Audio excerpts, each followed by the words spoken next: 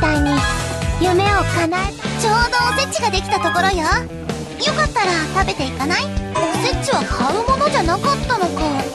ってあなた何も知らないのね。おせちっていうのは手間暇かければちゃんと美味しく作れるのよ。買うより味も優しいし安く済むし。はい。黒豆あげる。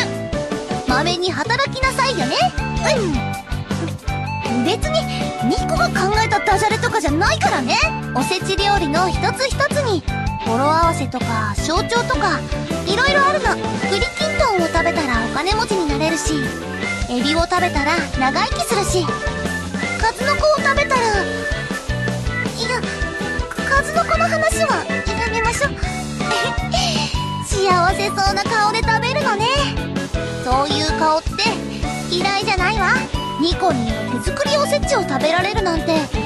あなた世界で一番幸せ者なんじゃない？エビいっぱい食べておいてね。